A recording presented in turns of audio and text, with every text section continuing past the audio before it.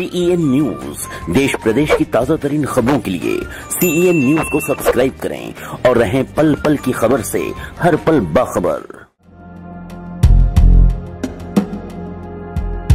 मूर्तिजापूर तालुक्यातील पारद येथील गुक्षी बॅरेजवरून येत असताना चिमुकली आराध्या हिचा पाय घसरून बॅरेजमध्ये असलेल्या पाण्यात कोसळली. तिला वाचवण्यासाठी आई व वडिलांनी पाठोपाठ पाण्यात उडी घेतली. यात चिमुकलीसह आईचा मृत्यू झाला.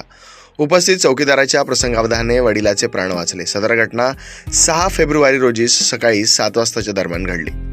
पारद येथील रहिवासी असलेले गौरव सुरेश तायडे वयवर्ष बत्तीस. हे पत्नी प्रिया गौरव तायडे वयवर्ष अठ्ठावीस. व मुलगी आराध्या वयवर्ष दोन. हे तिघे नदीपलीकडे असलेल्या दर्यापूर तालुक्यातील धामोडी या गावी मावशीच्या अंत्यविधीसाठी गेले होते.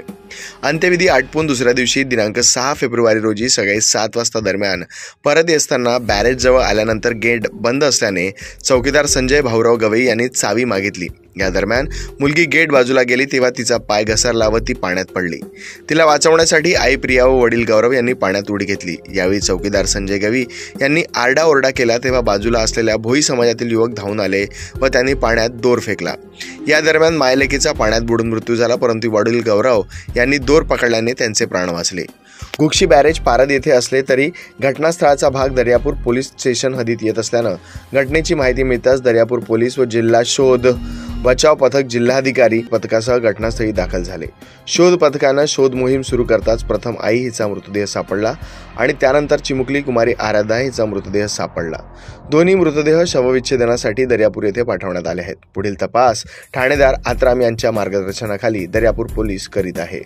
घटनेबाबत चौकशी व्हावी प्रियाच्या वडिलांची तक्रार. मृतक प्रिया गौरव तायडे व तिची मुलगी आराध्या यांच्या मृत्यूबद्दल प्रियाचे वडील विठ्ठल गोविंदराव फुंडकर राहणार. हनवत खेडा यांनी आक्षेप घेत दोघींची मृत्यू नेमका पाय घसरून किंवा उडी घेतली की यांना पाण्यात ढकलून देण्यात आले अशी शंका उपस्थित करून या आशयाची तक्रार दर्यापूर पोलिसात दाखल केली आहे. कॅमेरामॅन रोहित ताडेसह प्रतिनिधी Pratik Kurekar C N news Akola.